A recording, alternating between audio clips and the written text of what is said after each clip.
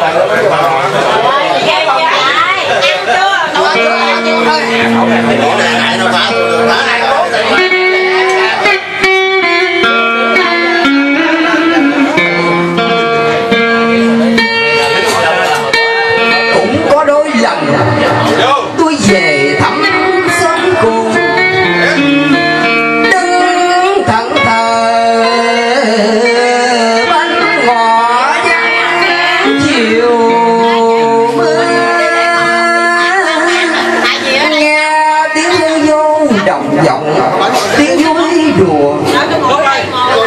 lòng rộn ra một niềm thương đổi nhau.